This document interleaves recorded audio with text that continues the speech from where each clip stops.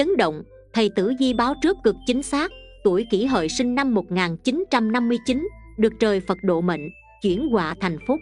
Trúng số phát tài cực mạnh, đúng trong tháng 11 và 12 âm lịch 2024 đổi giận cực giàu có, tiền tỷ xếp đầy két, tiêu tết thả ga. Quan hỷ chào mừng quý vị đã đến và quay trở lại với kênh minh đường tử di. Kính chúc quý vị bình an, sức khỏe, gặp nhiều may mắn, bội thu về tài lộc quý mệnh chủ thân mến, luận về vận số cuộc đời cho thấy, những năm vừa qua tuổi kỷ hợi đã gặp nhiều vất vả, khốn khó đủ đường, nhiều khi giật mình kinh hãi khủng khiếp trong cảnh nợ nần. Túng thiếu tiền bạc, phải cúi đầu đi vay mượn khắp chốn, lao tâm khổ tứ tìm đủ mọi cách để lo xoay sở, trang trải cuộc sống mưu sinh. Nhưng nghèo khó thế đủ rồi, từ 66 tuổi trở đi, sẽ là lúc người tuổi kỷ hợi có thể hồi phục và gây dựng lại những thứ đã bị mất mát trước đó. Trong năm này bản mệnh sẽ đón nhận một thời vận mới với nhiều điều may mắn và phúc khí dây quanh, có các tinh phù trợ, cục diện bề trên che chở. Bản mệnh cầu được ước thấy, chỉ cần quyết tâm làm việc không bỏ dở giữa chừng, thì ắt gặt hái được nhiều thành công ngoài dự kiến. Xem tử di trọn đời thấy rõ, bước sang tháng 11 và 12 năm 2024 âm lịch, vận trình của kỷ hợi sẽ bừng sáng bất ngờ, nhờ các tinh cao chiếu, từ sự nghiệp, công danh cho đến tài lộc của tính chủ đều khởi sắc, khi được thần tài ban lộc, thần may mắn gõ cửa, bất ngờ nhận phúc lớn, giàu có ú ụ, tiền bạc ào ào kéo về nhà như nước lũ. Cuốn trôi đi sự vất vả nghèo đói cả một đời, đổi lại là tiền tỷ cầm tay, nhà lầu xe hơi, cuộc sống sung túc, giàu có an nhàn, gia đạo an yên, tinh thần vui vẻ, khiến người người kính nể. Vậy, vận trình cụ thể trong hai tháng tới về sự nghiệp, công danh, tiền bạc sức khỏe và tình duyên gia đạo của người tuổi kỷ hợi cụ thể sẽ ra sao? Và điều gì giúp tính chủ đổi đời giàu có nhanh chóng như vậy? Tất cả những câu hỏi đó sẽ được minh đường tử di bật mí ngay sau đây. Đặc biệt, ở phần cuối video, ban biên tập chương trình sẽ chia sẻ về những điều cấm kỵ và cách hóa giải vận hạn, giúp tuổi kỷ hợi tránh quả đắc phúc, hưởng lộc, có những tháng cuối năm cực may mắn và giàu có còn bây giờ xin mời quý vị cùng chú ý theo dõi lá số tử vi dưới đây. Tiết lộ ba sự thật chấn động, giúp tuổi kỷ hợi 66 tuổi quá khổ thành phước. Đúng hai tháng tới đổi giận cực giàu có, tiền tỷ xếp đầy két. Lộc đến từ cuối năm nay, kỷ hợi tiến bước tiền tài bao la. Trường tồn phúc lộc dinh hoa, làm ăn khí chất ngút cao rạng ngời dinh hoa sung túc tuyệt vời, thần tài song lộc một đời an khang quý vị thân mến, theo tử di trọn đời 12 con giáp, tuổi kỷ hợi, mệnh bình địa mộc, tức gỗ ở đồng bằng, trời sinh mạnh mẽ, đơn giản, trung thực và dũng cảm. Họ là người được nhiều người ngưỡng mộ, người này là những người đáng tin cậy. Họ tin tưởng vào trực giác của mình, tuy là những con người rất thích hưởng thụ cuộc sống. Thế nhưng họ lại rất chăm chỉ lao động, là một người bạn tuyệt vời và là nhà tổ chức dễ tính. Họ có thể hy sinh mình vì người khác tuổi thơ của người tuổi này rất bình lặng, không lo không nghĩ, nhưng đến thời kỳ thanh niên và trung niên sẽ có những thăng trầm. Chẳng hạn như phiền muộn về tình yêu, hôn nhân khiến bạn khó lòng ứng phó được, dĩ nhiên tuổi già của bạn khá hạnh phúc, cuộc sống cũng rất yên ả. Do bạn luôn trọng trách nhiệm và trung thành với gia đình, nên những sóng gió trong tình yêu, hôn nhân thời trẻ đã qua đi từ lâu, bạn sẽ cảm thấy mọi việc thật mãn nguyện biết bao. Mặc dù không phải là người chậm chạp thế nhưng tuổi 1959 là những người thích sự thanh thản, sung túc. Họ thường là những người sống tình cảm và yêu gia đình, nơi họ ở thường ấm cúng, thoải mái, thân thiện, tuy nhiên cũng khá bề bộn.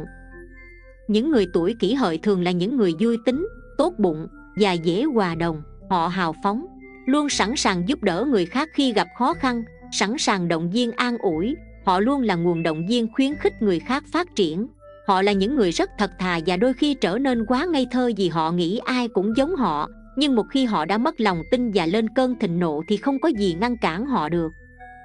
Nhược điểm chủ yếu của họ là không nói được đến nửa chữ không với người thân, bạn bè của mình. Trong rất nhiều chuyện họ luôn ép người khác phải có thái độ trung dung giống họ để giải quyết rắc rối. Họ không phân biệt rạch ròi đâu đúng, đâu sai, nhưng khi sự việc kết thúc không suôn sẻ, họ sẵn sàng đứng ra nhận trách nhiệm đời sống tình cảm khá ổn định, những người tuổi này vẫn không tránh khỏi những lúc yếu đuối và bị cảm xúc chi phối quá nhiều. Trong công việc và cuộc sống họ có khát vọng là tỏa sáng, làm đẹp cho đời. Tôn vinh, nâng cao vẻ đẹp chân thiện mỹ lên những tầm cao mới. Khi là vật quý nên đương nhiên phải đi kèm với quyền lực mới có chỗ đắc dụng, vì thế nên tuổi kỷ hợi giàu trí tiến thủ. Muốn được cống hiến và lập công danh, chắc chắn rằng những người đồng sự của họ phải là những người xứng tầm thì họ mới hợp tác còn không họ thích ở ẩn tiêu dao về sự nghiệp, tài chính người tuổi kỷ hợi được thần tài nâng đỡ, cả giận chính tài và thiên tài đều rất tốt, dù là làm kinh doanh hay làm công sở thì đều được lộc trời ban. Với những đặc điểm về tính cách kể trên, cho nên tuổi kỷ hợi thích hợp với các lĩnh vực như chính trị, luật pháp, tài chính, ngân sách, công quỹ, tài sản, một số khác hợp với công tác từ thiện, cứu giúp người khó khăn như tư vấn tâm lý, bác sĩ y tá hay thành viên các tổ chức từ thiện nhân đạo khả năng cảm thụ thiên bẩm về cái đẹp nên tạo nên mối duyên đối với nghệ thuật điêu khắc hội họa thơ ca trang trí cắm hoa cây cảnh. Theo giới tử di cổ học cho thấy tuổi kỷ hợi 1959 được Phật A Di Đà hộ mệnh, mang mặt Phật bản mệnh A Di Đà bên mình tựa như có lá bùa may mắn trong tay, giúp thân chủ an nhiên tự tại trong cuộc sống, phát huy tối đa năng lực trong công việc để tiến tới thành công. Điểm nổi bật nhất ở người tuổi kỷ hợi chính là đức tính chăm chỉ, chịu khó, nhờ tinh thần hiếu học cùng trí thông minh bẩm sinh. Họ có được vốn kiến thức sâu rộng, tài trí và óc phán đoán nhanh nhạy giúp họ luôn chủ động trong công việc. Họ thường lên kế hoạch tỉ mỉ, chu đáo trước khi làm một việc gì đó, rồi mới thực hiện từng bước. Vì vậy, tuy thành công đến với họ không nhanh nhưng chắc chắn. Người tuổi kỷ hợi mệnh mộc có khả năng giao tiếp rất tốt, dễ hòa đồng với mọi người. Vận mệnh người tuổi kỷ hợi mệnh mộc khá tốt, khi nhận được cơ may tài lộc không tồi bí quyết phát tài của họ chính là tích lũy và đầu tư nhờ công sức làm ăn chăm chỉ tiết kiệm thu vén chi tiêu nên kỷ hợi có được cho mình một khoản kha khá có tiền trong tay chớ nên tiêu xài quan phí mà nên mua những thứ thiết thực hay đầu tư vào bất động sản sẽ có lợi hơn đấy kỷ hợi nhé tuy kỷ hợi phúc lộc từ gia đình không có nhiều, cô bác anh em không hỗ trợ và giúp đỡ được nhiều, nhưng nhờ đức tính chăm chỉ, nỗ lực cố gắng mà họ có thể tay trắng gây dựng cơ đồ. Gặp khi thiên thời địa lợi nhân hòa, thì khả năng thành công là rất cao, có thể một bước lên mây, sau một đêm trở thành tỷ phú. Song nhân duyên kém sắc đòi hỏi kỹ hợi phải nỗ lực để cải thiện các mối quan hệ xã giao, đặc biệt là với đồng nghiệp và cấp dưới, phải làm sao để họ vừa nể vừa sợ đặt mình lên vị trí cao hơn. Khi đã tích lũy được vốn liếng làm ăn, thời cơ thích hợp, thì có thể xem xét để chuyển sang vị trí khác công việc khác phù hợp hơn, chú ý. Khi xảy ra tranh chấp, cạnh tranh với bạn bè, đồng nghiệp, chớ nên nóng nảy, mà cần phải nhường nhịn để chung sống hòa bình với nhau. Bước sang giai đoạn cuối năm Giáp Thìn 2024 bản mệnh sẽ có nhiều cơ hội phát triển bản thân hơn nữa, nhờ thế mà những giận xấu từ đầu năm và khó khăn từ năm 2023 trước đó cũng dần lùi xa trong giai đoạn này vận trình của bạn hứa hẹn những chuyển biến đầy tích cực Đặc biệt có 2 tháng cuối năm 2024, cụ thể là bước sang tháng 11 và 12 âm lịch này, người tuổi kỷ hợi sẽ cảm nhận được sự thay đổi một cách rõ rệt. Khi phúc khí tràn trề, tài tinh hội tụ và nhiều tin vui ập đến, nếu biết nắm bắt tốt cơ hội lần này, thì bản mệnh sẽ lội ngược dòng thành công. Không những hết khổ sạch nợ, mà còn đổi đời giàu có, tiền tiêu không hết, bao nhiêu vất vả, nghèo khó khi xưa sẽ được đền đáp xứng đáng. Đầu tiên, xét tổng quan tử vi của tuổi kỷ hợi trong tháng 11 và 12 âm lịch. Xem tử vi 2 tháng, 11 và 12 âm lịch, người tuổi kỷ hợi đón nhiều hỷ sự trong tháng mới nhờ có cả tam hội và đế dượng che chở. Vận trình thăng cấp nhanh chóng, chẳng điều gì có thể ngăn cản bạn tiến băng băng về phía trước và đạt được thứ mình muốn. Công danh sự nghiệp trên đà tăng tiến, con giáp này được thôi thúc tạo ra thật nhiều sự bứt phá vì bạn đang có trường năng lượng rất mạnh mẽ. Trong những dự định sắp tới hãy mạnh dạn theo đuổi vì có những quý nhân hỗ trợ giúp bạn nâng tầm quan sát trước những quyết định đúng đắn.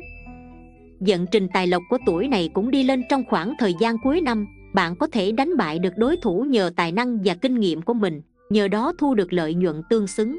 Tuy nhiên tháng có hung tinh chủ hao tài là kiếp tài dây hãm nên bản mệnh có khả năng hao tiền tốn của rất lớn có thể là cho những kế hoạch mua sắm sửa soạn cho tết Tình cảm trong hai tháng cuối năm 2024 của tuổi kỷ hợi cũng sáng bừng trong những cảm xúc ngọt ngào. Những người đã lập gia đình được tận hưởng bầu không khí vợ chồng hòa thuận.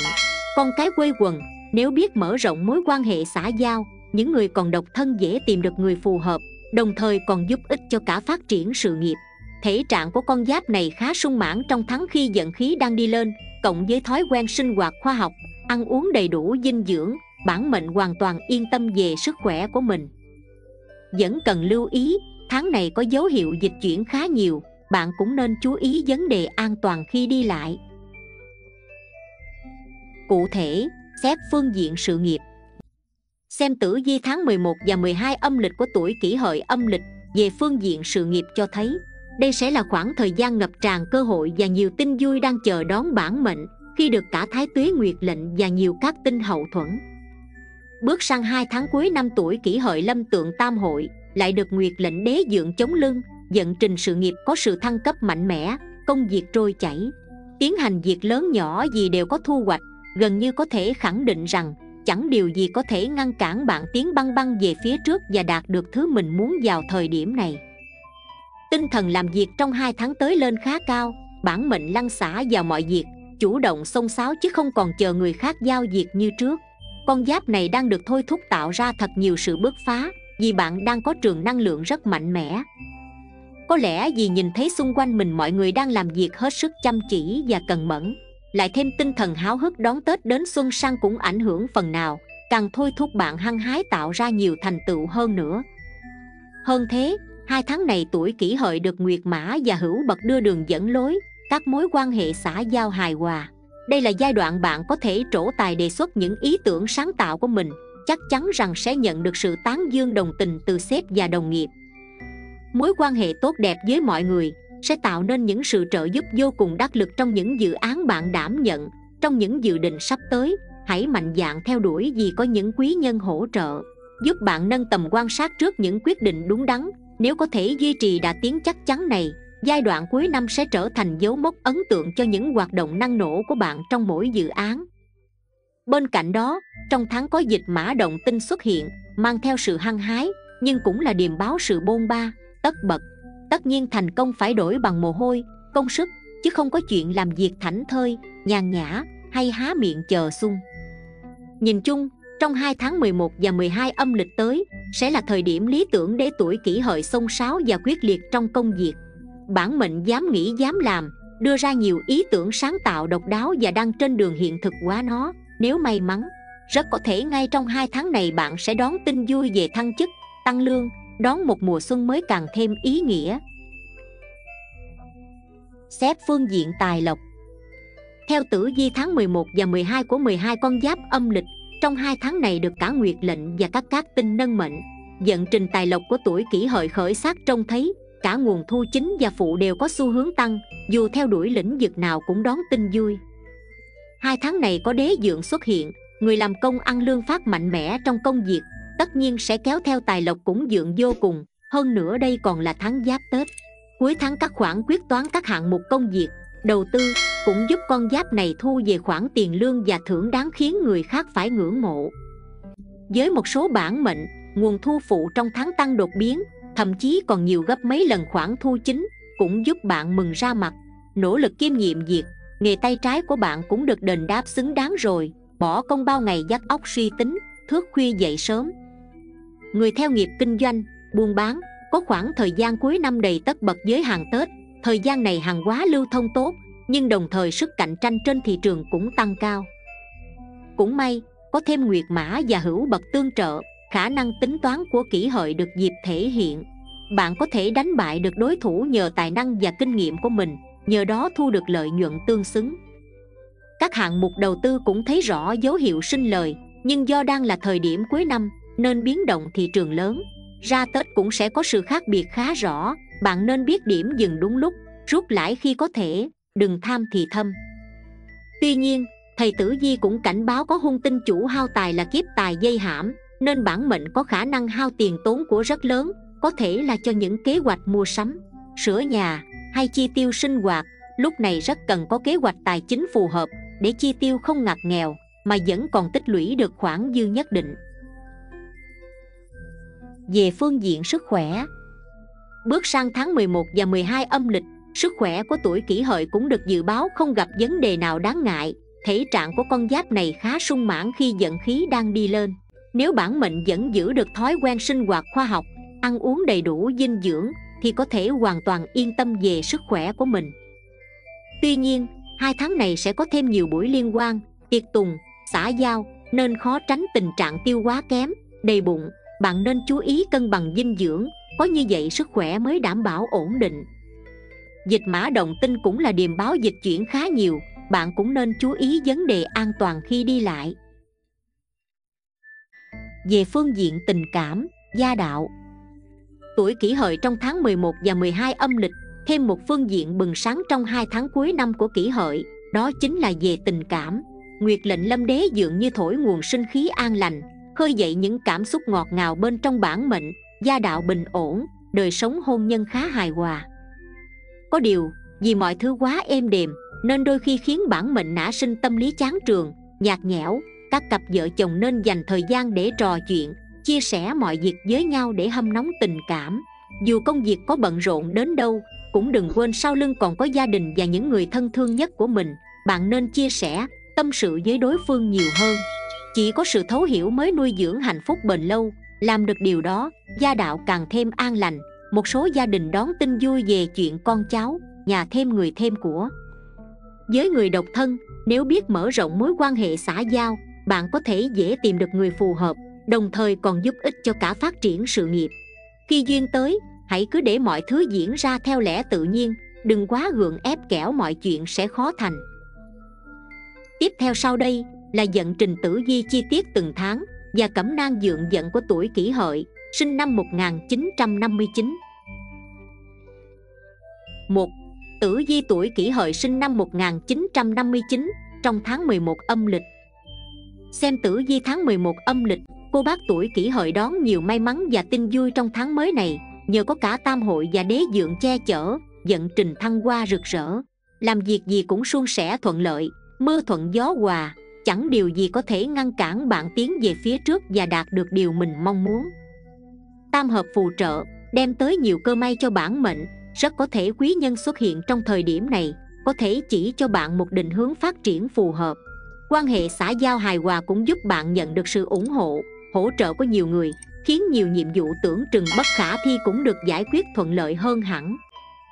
Dận trình tài lộc của tuổi này cũng đi lên trong tháng này Người tuổi kỷ hợi là những người nhanh nhẹn, hoạt bát, làm một ổn mười Nên dễ dàng để đạt được lợi ích mà mình mong muốn. Nhiều cơ hội phát tài phát lộc xuất hiện trước mặt bạn Và điều mà bạn cần làm chính là nhanh tay nắm bắt thời cơ thuộc về mình. Tuy nhiên, tháng này còn có hung tinh chủ hao tài là kiếp tài dây hãm nên bản mệnh có khả năng hao tiền tốn của rất lớn có thể là cho những kế hoạch mua sắm sửa soạn cho tết sắp đến gần. Về phương diện tình cảm của cô bác tuổi kỷ hợi cũng sáng bừng trong những cảm xúc ngọt ngào những người đã lập gia đình được tận hưởng bầu không khí vợ chồng hòa thuận. Con cái quê quần nếu biết mở rộng mối quan hệ xã giao, những người còn độc thân dễ tìm được người phù hợp, đồng thời còn giúp ích cho cả phát triển sự nghiệp. Sức khỏe không phải là vấn đề lo lắng trong thời gian tới, khi cô bác tuổi kỷ hợi cảm thấy khá sung sức, đủ tỉnh táo để giải quyết các vấn đề trong cuộc sống cũng như công việc, thế nhưng con giáp này chớ nên chủ quan mà lơ là việc chăm sóc cơ thể. Ngoài ra, bản mệnh cũng phải cẩn thận khi khi làm việc nặng hay khi tham gia giao thông tránh bất cẩn xảy ra thương tật trước tết nhé quý nhân dần mùi tiểu nhân dậu ngọ màu sắc các tường vàng đỏ con số may mắn 03 85 14 2.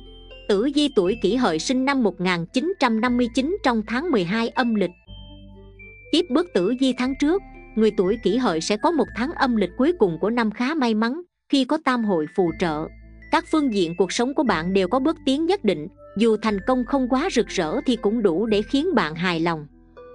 Con đường công danh, sự nghiệp của bản mệnh phát triển hài hòa khi bạn xây dựng được quan hệ hòa hợp với mọi người xung quanh, đồng nghiệp, bạn bè cùng chung tay giải quyết công việc lại thêm có quý nhân ở bên phù trợ nên việc lớn nhỏ gì cũng giải quyết êm xuôi bạn có thể yên tâm tận hưởng những ngày nghỉ tết đầu năm phương diện tài lộc cũng có dấu hiệu đáng mừng khi bạn nhận được các khoản lương thưởng cho những cố gắng trong suốt cả một năm vừa qua.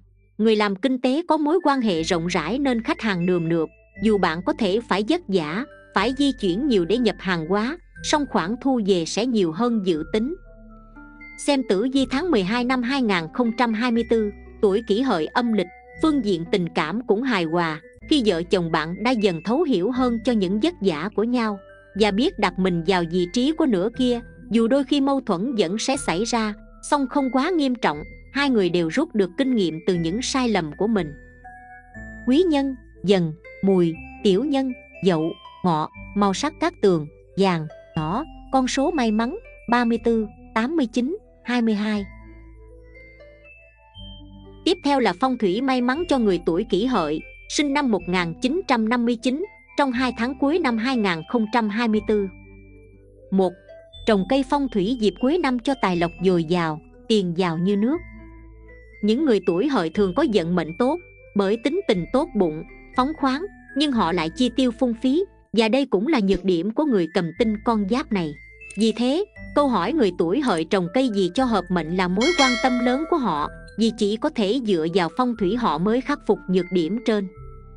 Những người sinh năm kỷ hợi thuộc mệnh mộc do đó rất nhiều loại cây để gia chủ có thể chọn mua trang trí nhà cửa ngoài ra theo ngũ hành tương sinh thủy sinh mộc nên màu sắc may mắn cho những người tuổi kỷ hợi là màu đen và xanh nước biển hoặc cũng có thể trồng các loại cây thủy sinh trong nhà một số loại cây phù hợp với người tuổi kỷ hợi có thể kể tới như cây đế dương đỏ cây cao tiểu châm cây cung điện đỏ cây bách thủy tiên, dạng niên thanh, kim ngân, trúc nhật, cây sen đá 2. Phật bản mệnh tuổi kỷ hợi sinh năm 1959 Mỗi con giáp đều có một vị Phật bản mệnh riêng Luôn dõi theo và che chở, bảo hộ. Đây là thủ hộ thần mà không con giáp nào giống con giáp nào. Người tuổi kỷ hợi thờ Phật nào? Phật A-di-đà chính là vị thần luôn ở bên phù hộ cho con giáp này. Phật A-di-đà là giáo chủ Tây Phương tịnh độ thế giới. Cùng quan âm Bồ Tát, Đại Thế Chí Bồ Tát Hợp xưng Tây Phương Tam Thánh. Ngài nắm giữ linh lực rất mạnh, Có thể trợ giúp bản mệnh nâng cao khả năng giao tiếp, Dù ở độ tuổi nào, Thì người tuổi hợi cũng đều có lúc phải đối diện với khó khăn. Nếu đeo bản mệnh Phật A-di-đà, Bạn sẽ cảm thấy giảm bớt được áp lực, Vô hình chung tăng cường sức mạnh để vượt qua trở ngại, Có thể đạt thành tâm nguyện. 3 tượng heo phong thủy. Heo phong thủy mang lại sự sung túc, cuộc sống đầy đủ cho gia chủ tuổi hợi người ta thường ví trong 12 con giáp thì lợn là con vật sướng nhất bởi nó chỉ ăn xong ngủ. Đến bữa có người cho ăn ăn xong rồi lại đi ngủ mà không phải lo lắng bất cứ điều gì. Chính vì lẽ đó người tuổi hợi đặt tượng con heo trong nhà với mong muốn.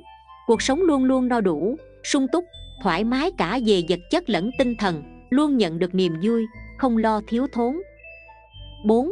Tượng tỳ hưu phong thủy. Tỳ hưu ngoài tác dụng thu hút tài lộc, tiền tài, còn có tác dụng trấn nhà để tránh tà khí. Tỳ hưu có thể làm cho vận mệnh các thành viên trong gia đình tuổi hợi chuyển biến tốt, vận mệnh được nâng cao, đuổi tà khí đi và có tác dụng trấn giữ nhà cửa. Vì vậy, tỳ hưu đã trở thành thần hộ vệ cho gia đình, bảo vệ sự bình yên cho ngôi nhà của người tuổi hợi. 5 cây phát tài vật phẩm phong thủy tuổi hợi khi lựa chọn đồ phong thủy để trưng trên bàn làm việc cho người tuổi kỷ hợi bạn có thể chọn một chậu cây phát tài nho nhỏ để giúp cho vận trình tài lộc thêm tăng tiến. Nhiều người thích cây to, chậu to thì chỉ thích hợp để ở góc phòng mà thôi. Cây phong thủy này có thể đặt ở nhà hay ở công ty, nơi làm việc. Đều có thể tác dụng phong thủy của nó không hề thay đổi. Bản mệnh có thể tùy theo nhu cầu của bản thân mà tìm nơi đặt cây cho thích hợp. Tài lộc sẽ ùn ùn kéo về nhiều vô kể đó. Quý vị thân mến có bao giờ quý bạn tuổi kỷ hợi tự hỏi, tại sao rất nhiều người giàu có, trong khi những người khác lại phải đấu tranh để tồn tại? Hoặc sống cho qua ngày với một mức lương bèo bọt, trong khi họ có cùng một nền tảng tâm trí, cùng một gia đình, với sự giáo dục và cơ hội phát triển giống nhau. Chắc chắn họ sẽ nhận được các kết quả khác nhau, một người rất thành công và một người sẽ thất bại, tại sao điều trái ngược đó lại xảy ra? Một chuyên gia tài chính chia sẻ rằng việc xem xét các kết quả khác nhau mà những người trong gia đình tôi có được, đã dạy cho tôi nhiều bài học cuộc sống quý giá về việc xây dựng sự giàu có.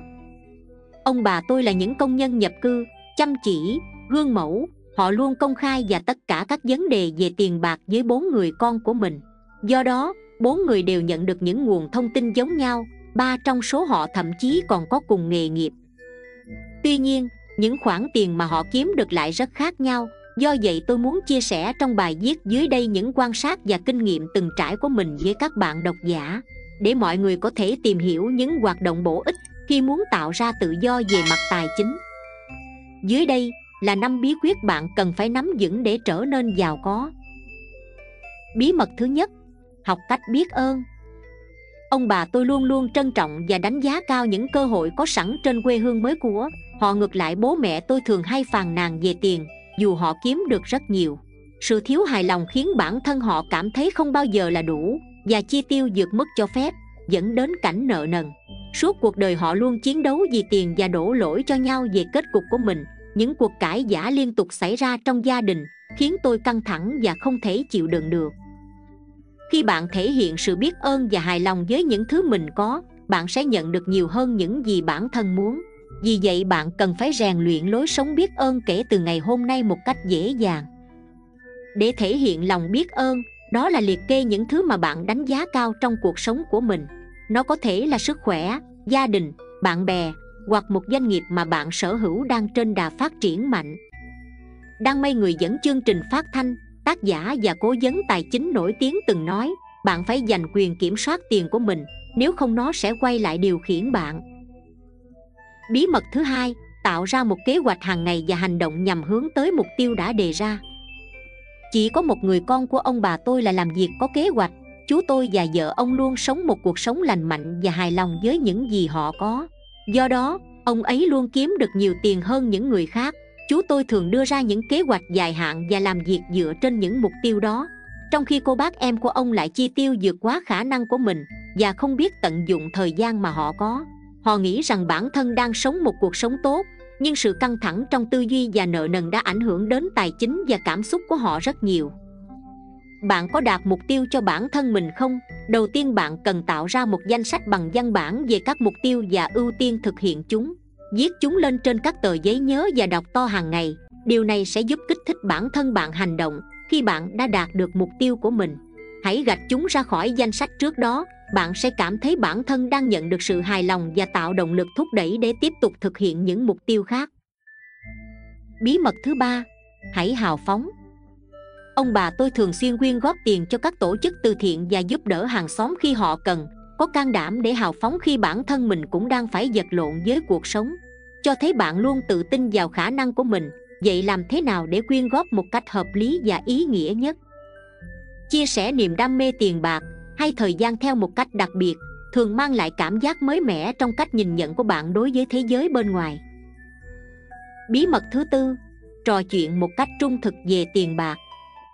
Bí mật chung giữa những người thành công là họ luôn thoải mái nói chuyện về tiền bạc và tiền không bao giờ có thể khiến họ khó chịu để có một cuộc trò chuyện về tiền thành công. Bạn nên bắt đầu từ những bước nhỏ sau, hãy nghĩ về một chủ đề liên quan đến tiền bạc một cách tự nhiên chẳng hạn như lên kế hoạch cho một kỳ nghỉ, bắt đầu bởi những câu hỏi chung chung như, đi đâu khi nào và trong bao lâu, khi bạn đã thu hẹp tùy chọn của mình, hay bắt đầu quyết định ngân sách, và điều đó sẽ là tiền đề để các cuộc trò chuyện về tiền bạc trở nên dễ dàng hơn. Bí mật thứ năm, hãy bắt đầu tiết kiệm. Ông bà tôi sở hữu rất nhiều tiền, vì họ biết cách quản lý tiết kiệm và là những người chi tiêu thông minh, ngược lại hai người con của họ đang phải sống cuộc đời không một xu dính túi. Một người mất tất cả và đang sống trong nhà ở của chính phủ dành cho người già. Một người đã phải thu hẹp các khoản chi tiêu và hầu như không có bất kỳ tài sản nào. Một người con khác đã học theo thói quen tiền bạc của ông bà tôi và bây giờ đang hưởng thụ quãng thời gian nghỉ hưu vô cùng thoải mái. Vậy, lựa chọn tiết kiệm như thế nào bạn nên thực hiện? Điều quan trọng nhất đó là bạn phải nắm rõ tài chính của mình. Sử dụng một ứng dụng trực tuyến hoặc bản tính để tính các khoản như thu nhập mang về nhà và bất kỳ nguồn thu nhập nào khác, cổ tức, tiền lãi. Việc tiếp theo nên làm đó là hoạch định việc chi tiêu của bạn, tách chúng thành hai loại thiết yếu và tùy ý, đồng thời phải bao gồm cả tiền tiết kiệm trong ngân sách của bạn. Nếu bạn muốn tăng tiền tiết kiệm, hãy tìm cách giảm chi phí mua sắm những khoản không cần thiết. Như bạn có thể thấy việc đạt được mức độ giàu có và tự do tài chính không khó như bạn nghĩ nếu bạn thực hiện tốt năm bí mật đơn giản này, con đường trải đầy hoa hồng đang chờ đón bạn. Dân, chương trình đến đây là hết. Một lần nữa kính chúc quý cô bác cô bác sức khỏe, giàu có và thành công thật nhiều trong cuộc sống của mình. Còn bây giờ xin kính chào tạm biệt và hẹn gặp lại quý cô bác cô bác trong chương trình lần sau.